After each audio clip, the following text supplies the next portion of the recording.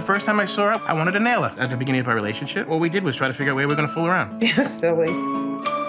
When we first made love, he cried like a baby. That didn't happen. I consider myself polyamorous. I can have a girlfriend and still be physical with other people. I don't understand it. Sex is the most important thing in a relationship, and I've always felt that way.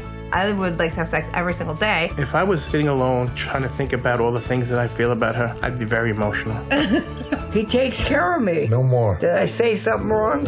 I love you. Maybe not like you, but I love you. Uh. I feel like I've met my soulmate. Ah!